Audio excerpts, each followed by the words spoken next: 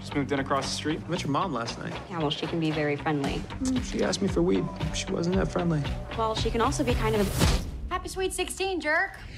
I'm such a. You're gonna like Massachusetts. Perfect for a fresh start. We move a lot, but she promised that this time would be different.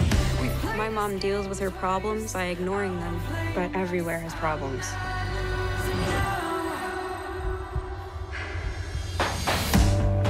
I've done things I'm not proud of, but I'd do them again. I'd do anything to protect my kids like no one ever protected me. Anything. It's me and you against the world, kid. Remember that.